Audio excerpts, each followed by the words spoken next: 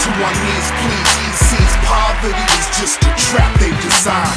We grind, knowledge is how we climb. But if you don't use what you learn, you're a powerless mind. Night school plus a couple jobs, grew all to work, barely survive, get fired or resign.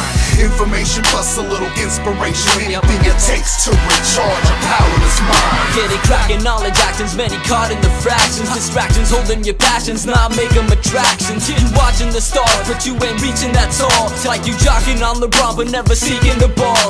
The Tigers iron paw got you feeling he fall. Cause you never made a part, and then the curtain was called. Knowledge with no apps, retarded, looking for laughs. One who acts like that's a mule that's rocking books on his back. Like an app when having dreams of you achieving great things. But waking to a life where you adults at 18. See, patience is a virtue, cause laziness is devilish. Feel it doesn't hurt you, was bathing in its settlement.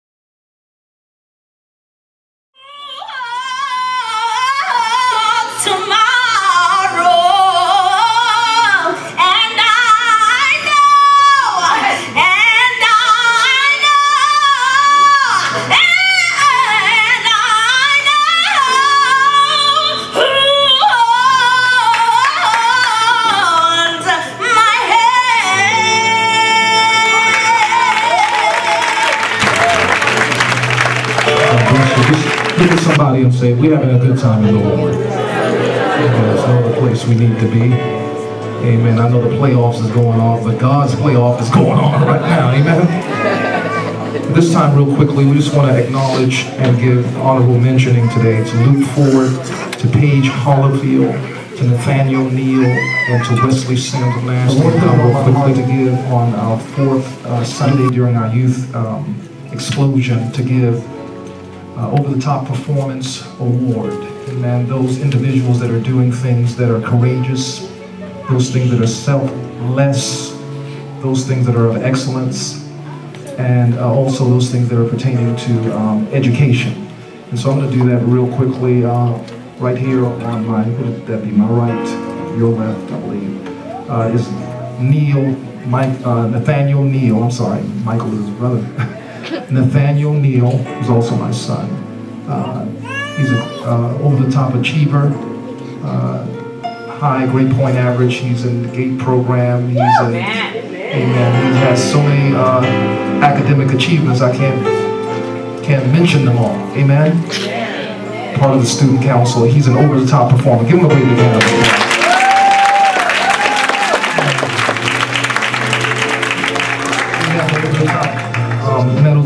That real quickly, Dr. Um, Andrews, real quick? This is presented, uh, Next Dimension Destiny Center presented to, um, yeah.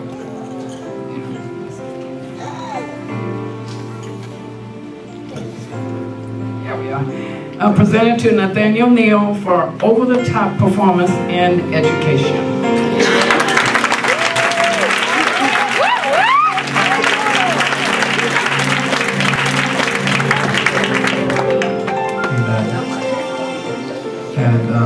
Next to him, amen, is uh, one of our youth ministers here, amen, Brother Luke, amen, Minister Luke, who is uh, working with um, prepaid legal, and he has like a thousand people under him, I've lost count. And uh, also have his pastor, amen, and he's building a staff under me. I don't even know what's going on. He's to tell me, you got 15 more people, you got 10 more people under me. I'm like, what? All right. So he's doing an awesome job in business, amen uh, an over-the-top performer. Give him a great big hand.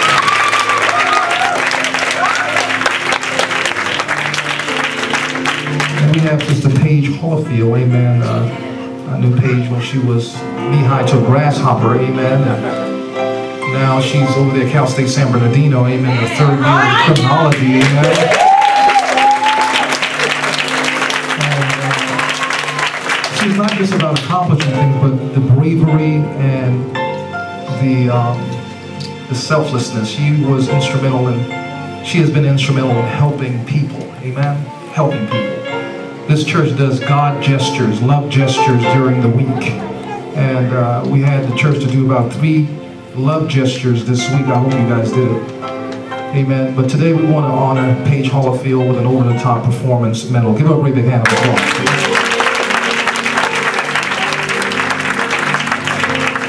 Last but not least, uh, uh, young Wesley Sims, who's not here.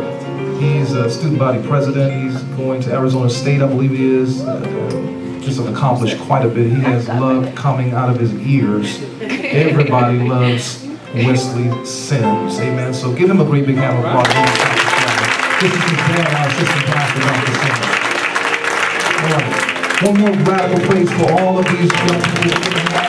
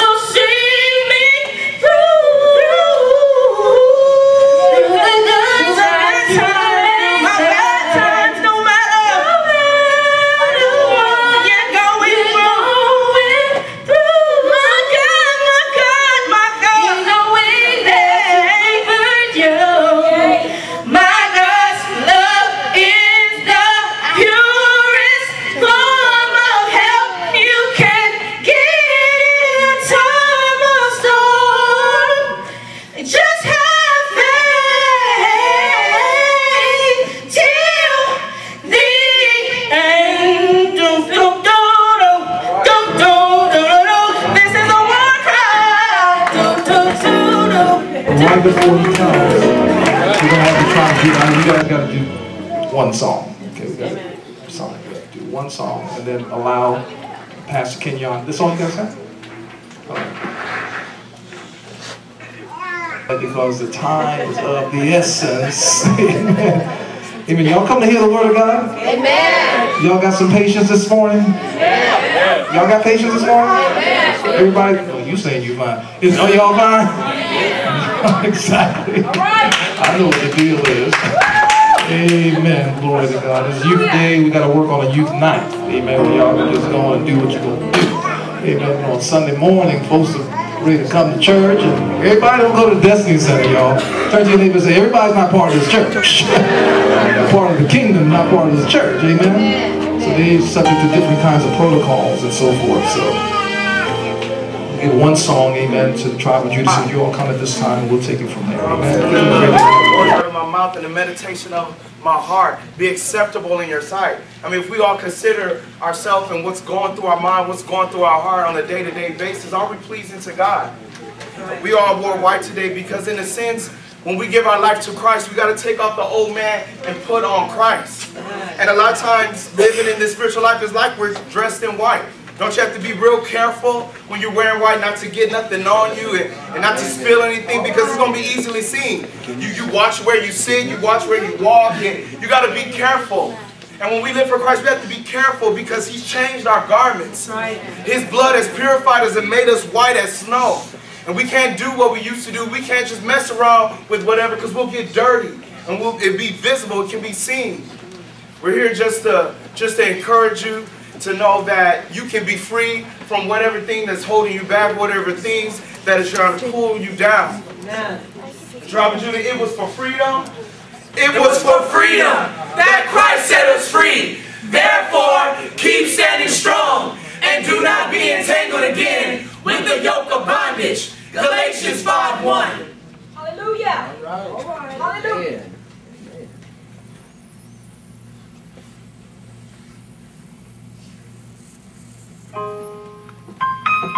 It's number, number 8.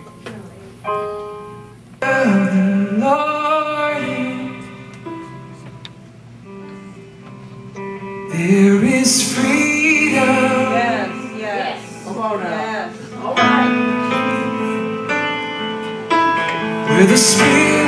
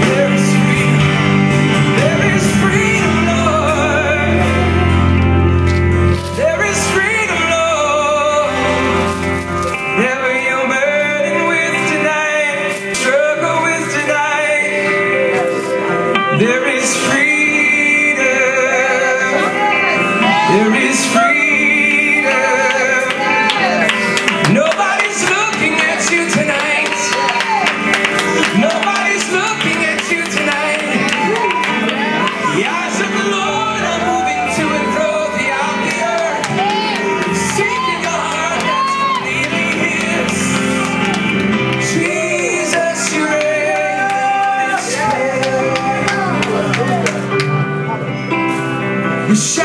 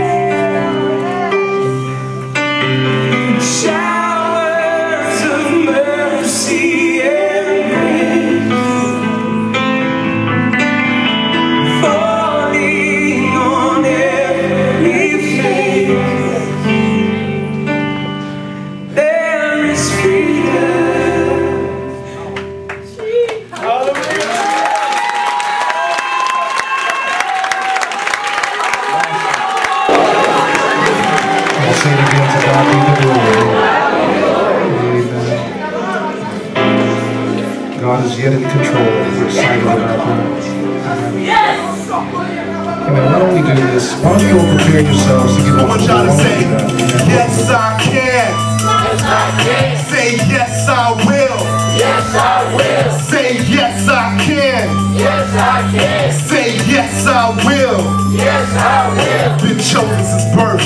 On the surface is lions, there's things in this earth that can't be explained through science. It's like we all doomed if we listen to Mayans awaken silence. Can only aggravate the violence. They say we make the money, we'll give it to you, but still tax of every action has an equal and opposite reaction. They make the rules, break them in the same fashion. As soon as I start speaking, you hear passion. What's this song about? Soul saving them goals, proclaiming to prosper, laying hands till people start falling out. This song's about waking up, tell them get a clue. It's about doing anything you put your mind to. See, they want you to think like a robot in sync with the program they provide as I'm sliding this ink across the page. I get disgusted. They tell me I can't, they tell me I won't. They say that I'm nothing. I tell them, yes I can, yes I will do what you say I can't. Develop the skills to get my sword so sharp it'll slice through shields. I'm in the streets pushing units, I'm not looking for deals. Tell them, yes I can, yes I will. Sharpen my mind every day, develop the skill. Put the mic down, imposter. I tell them no weapon formed against me shall meditation, motivation and mix that with determination. Conceptually, I've grown through self-education. Consider slang time as my graduation. So when I pick up the pen, know that I'm not joking. As the streets filled with blood seems lost hope, oh, I will not strike first. Only move when provoked, and although my eyes open, it feels like my heart's broken. Seeing tragedy after tragedy, it's so sad to see them use you as a pawn, but tell your mom you were a casualty of war. Can anybody tell me the score? Better yet, can anybody tell me what we fighting for? Cause it's not freedom. Can you not see them? These conceited leaders sit on thrones, you cannot them. They send our soldiers to countries that do not need them. These close eyes. Tell them, yes I can, yes I will do what you say I can. Develop the skills to get my sword so sharp it'll slice through shields. I'm in the streets pushing units, I'm not looking for deals. Tell them, yes I can, yes I will. Sharpen my mind every day, develop the skills. Put the mics down, imposters. I tell them no weapon form against me shall prosper. Common style, gotta make my presence loud. Yes, I will, gotta make my mama proud. I know life is hard, cruel, vicious, and foul, but I'm never giving up, never throwing in the towel. The truth lies just beyond the other side of the sea. See, I can show you, but only you can decide to see. It's not who you are, but who you'll try to be. I'm on fire. See, music is what inspires me. My components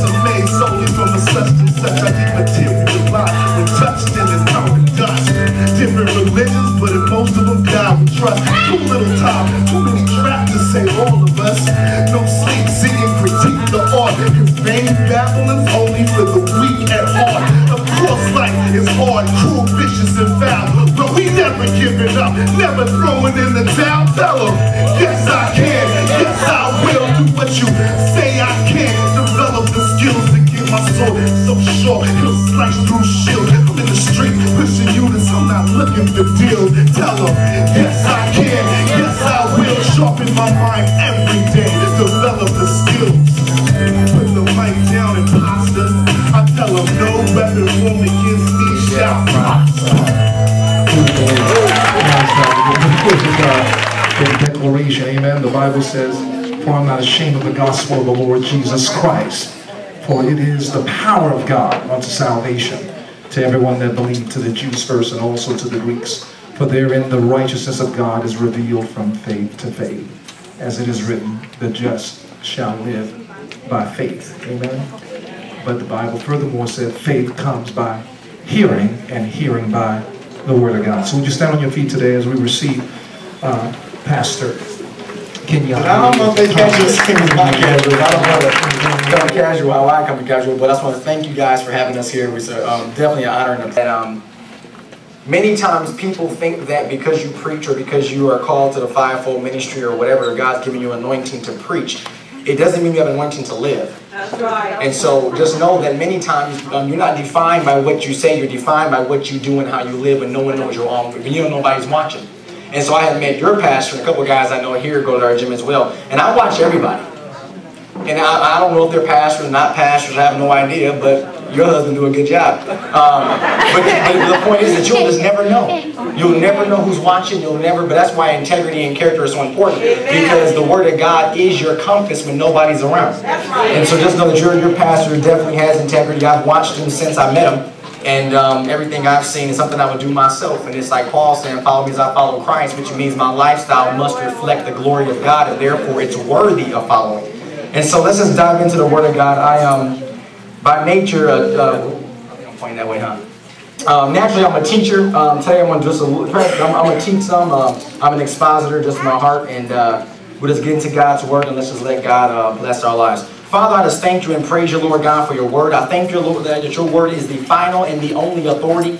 I pray let your word today become to every single person a lamp unto their feet, a light unto their path. I pray let our hearts be open to receive the engrafted word of God that can change our lives. I thank you, Lord God, that your word says in 2 Corinthians 4, 4, in whom the God of this world has tried to blind the minds, the purpose of those that do not believe, lest the glorious light of your gospel will shine in them. But I thank you, Lord God, that 2 Corinthians 3.18, that we all with open face behold as in a glass or a mirror the glory of the Lord Lord, we're changed into that same image from glory to glory, even by the Spirit of God. And I pray right now, God, draw on our hearts, God. I pray that our hearts will receive your word with gladness. I pray that our hearts today will be like good ground, God, bringing forth 30, 60, and a hundredfold return of your scripture in our lives. And we give you the glory, the honor, and the praise. In Jesus' name, amen. Amen. All right. I love the Bible, so let's dive right in. Turn your Bibles to Genesis chapter 25. I wouldn't entitle this for title's sake, um, Battle Scars. And I thought it was amazing um, that one lady that came up earlier, um, I think it was the confession. I, I, really enjoyed that. Um, she preached that confession. And um, that, the guy that was mining, I really, I love mining and I really enjoyed that. And that last dance just went, um, I thoroughly enjoyed that as well. So you guys have some amazing gifts in your house and to God be the glory for that. So let us dive in. You should have received a little piece of paper when you walked in. Do you guys get that? Yeah. It's a little slip. Go ahead and pull that out for me really fast. And it says battle scars on there. Yeah. And you see the numbers 1, 2, and 3. On those little numbers, I want you to take the time right now to write. Um, so no one's going to see it besides you, so you, you, you can be honest. I, I want you to write the things in your life that you would consider a scar. Write down the thing in your life that you fear the most. Write down the thing in your life that has happened to you that nobody knows about and you don't want no one to know about. Write down that thing that you've been damaged by, hurt by. Write that thing down on there. It may be one, two, three, maybe more. But um, just go ahead and take the time right now to write that on there. And um, when we get done, you'll see why. And um, But today I want to talk to you guys about battle scars. And I want to talk about leaving your mark. The theme of this conference when I received the, um, the write-up was talking about youth moving forward. But just know this, the Word of God is not broken down from children's ministry, youth ministry, adults ministry. It's just the truth. And then the truth is what makes us free. So just know whether you're an adult, 3 to 50, it doesn't matter. The Word of God is what changes our life. So just know the Word of God is for you, but it's for whoever's in this room that has an ear to hear. Let them hear what the Word of God is saying today. So on that piece of paper, I hope you wrote that stuff down. So just keep that, you know, privately to yourself, and we're going to get back to it in a moment. Genesis chapter 25, verse 21 says this. It says, Isaac prayed to the Lord on behalf of his wife because she was barren, and the Lord answered him, and Rebekah, his wife, conceived. Now, just know, before this happened, she was barren, meaning she could not have children. So now he was praying to the Lord because he wanted a child. That's the context. Now, verse 22 says this, But the children struggled together within her womb, which lets you know there were twins in the womb. So now when we look at the text, it says, And she said, If it is so, why then am I this? So she went to inquire of the Lord. Verse 23 says, And the Lord said to her, Two nations are in your womb, and two peoples will be separated from your body, and one people shall be stronger than the other, and the older shall serve the younger. Verse 24, When her days to be delivered were fulfilled. Now watch this. There were twins in her womb. Now, I want to show you something in this next verse many people always overlook, is that number one, she was barren. She could not have the promised child yet. Once the Lord came upon her, now she conceived, and she did not receive one nation, but two nations. But now, I really want you to pay attention on this next verse. It says, verse 24, that she had um, twins in her womb. Verse 25, now um, then the first came forth with red hair, with red all over, like a hairy garment, and they named him Esau. Verse 26, afterward his brother came forth with his hand holding on to Esau's heel, so his name was called Jacob, and, I, and Isaac was 60 years old when she gave him birth. Now watch this. The name was given to Jacob as a result of the very first decision he made upon being birthed. Now watch this. Esau came out first, and they described what he looked like because he had no behavior yet. Jacob, before he even came out, reached out and grabbed the heel of Esau, and they called him Jacob, which in the um, which in the Hebrew means a heel catcher, a supplanter, or a trickster. That's right. What happens when you make one decision in your life, and for the rest of your life, you're, you're, you're called by and you're recognized by one decision? Jacob's identity was given because of one decision. Now, what if my decision isn't a favorable decision and my decision is opposite the character of God, but the rest of my life I live in view of one decision? Right, right. So now, look at the context. We have a guy named Esau who was the elder who was already prophesied he will serve the younger. But the younger, before he even came out, already was reaching for his placement. Before he was even born, he was trying to be first place. Now his character, his name, which name in the Hebrew means character or authority. His name was given as a result of his first action, his, oh, his beginning behavior, his authority. Now I want you to go back to Genesis for a second. I'm going to quote it for you. The Bible says, let us make man after our image.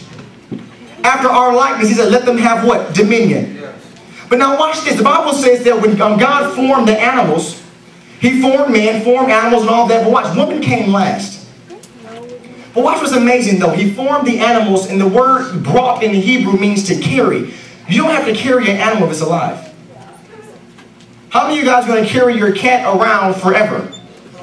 You're going to look foolish. You got a big Great Dane carrying that big boy on your shoulder looking crazy. Why? Because he's moving his own. Then the Bible says that, look, that God brought woman to man. Now watch this. God did not tell Adam what to name the woman. Adam said, this is bone of my bone, flesh of my flesh. You shall be called woman. Part B, for you were taken out of man. How would I know you were taken out of me if I was asleep when you did it? That word sleep in the Hebrew does not mean sleeping like you go to sleep at night. It means like a transit state, like in a trance. And now Adam, God immobilized him so that he would have no input. Right. But he wanted to him to see it's coming from me. Now watch this. God brought woman to Adam and then he declared her name and authority. He not only told her who she would be, he also told her her placement in society, saying, You are now equal with me. You were taken from the side of me, not below or above. You will rule with me. Therefore, my name, your name, your reputation lets me know not only who you are, but what your authority should be in relationship to me. So now you have this guy named Jacob, who his first decision gave him a character and an authority based on birth. How many of your children really know what they're doing at two months, six months? My wife's pregnant now. I'm sure Ava has no idea what she's doing. But upon birth, she comes out and makes one decision. And now we've given her a name called Jacob, which means supplanter, trickster, heel catcher. And for the rest of her life, she's labeled by a decision that she made in ignorance. Now watch this, we'll go deeper in a second. You guys with me still? Go to Exodus chapter 33.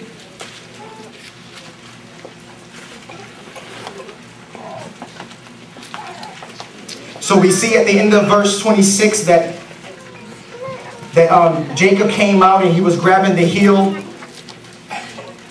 and he shouldn't have been, bottom line. And now you're going to see Exodus chapter 33. You can turn over there.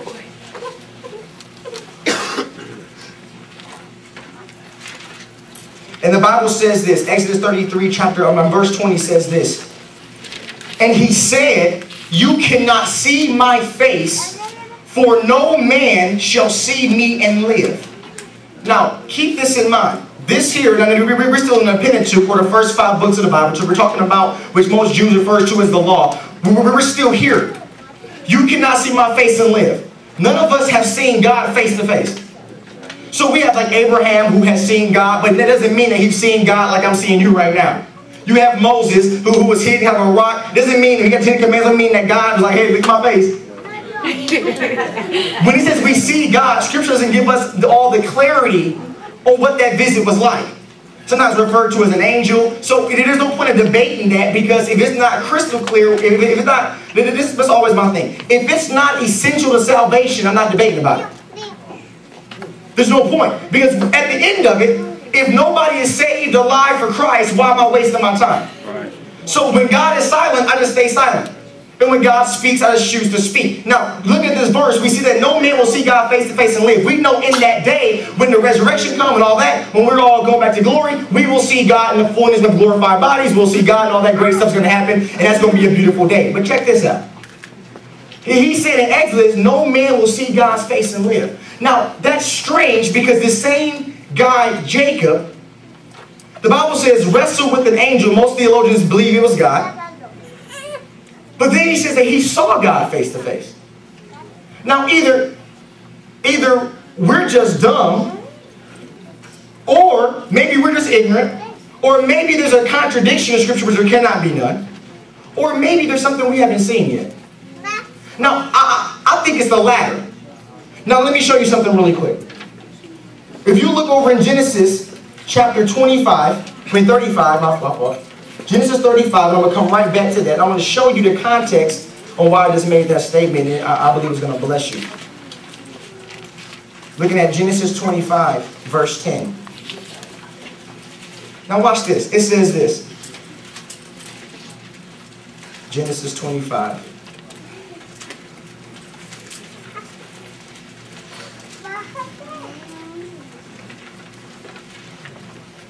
Where's something I meant 35? Yeah, I'm at 35. Let's go to 35, sorry.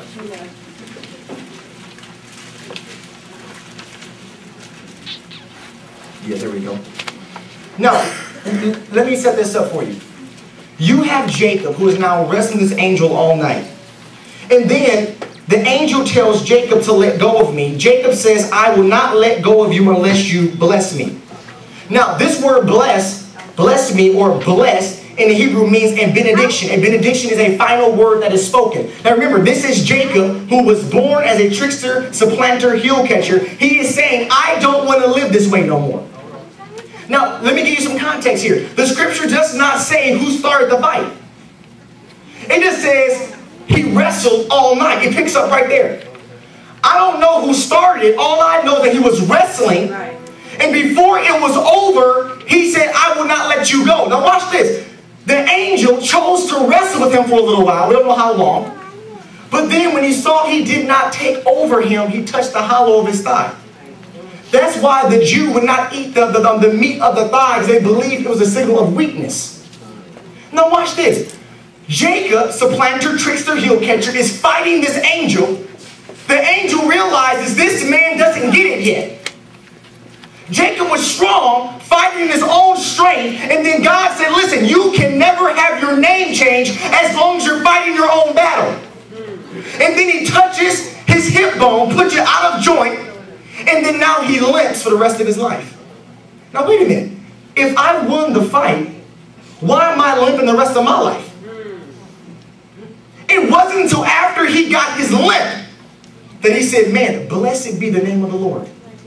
He would not humble himself until he realized my blessing does not come on my own ability, but it comes when I surrender to God. Amen. Understand, the name did not change until after his, his thigh was touched by the angel. He was fighting all before then, and then once they touched his thigh, then he said, listen, what is your name?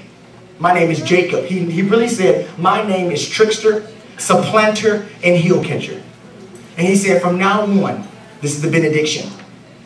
He said, I want, do you bless me? I'll let you go. He said, from now on, no longer will you be a trickster, supplanter, heel catcher. Your name is now Israel. You will rule as God. Now, wait a minute. That's in chapter 25. Then, it's not until two and a half chapters later that the scripture even shows that the Bible acknowledges the name change. Now, wait a minute. If you say from this day forward, I will no longer be called Jacob, but I can look at the next verse and see Jacob. Why, if my name is changed, why do I still see my old name here? Just because God changes your, your name, changes your character, makes you alive in Him, does not mean that people do. That again. You can be changed in a moment. God changed his name in one moment, but people don't forget who you were. And therefore, it took about two more chapters for them to get on board and go back. I'm not making it up. Go back and read it. That's right. That's right. Two chapters later, his name is now Israel. So the scripture isn't incorrect. It's just letting you know it takes time. Right. Salvation is right now. Sanctification is a process.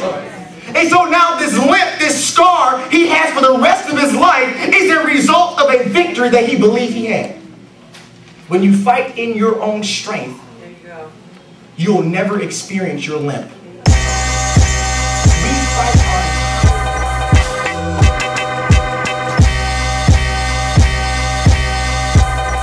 Yo.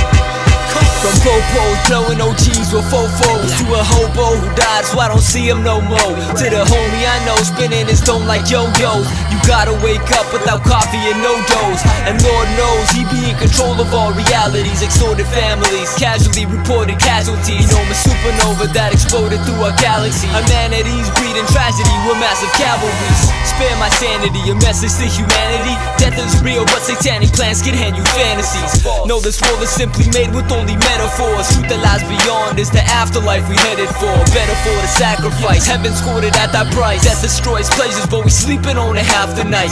If you read divine poems you pray much. Graves rough, ox smell the black roses, wake up. In this false reality isn't really clear to me How it's all supposed to go down. Wake up every morning, I've been ignoring. Head spinning rounds and rounds society Lost my own priorities. Knowing I should hold my ground. Trying not to blow it Die before you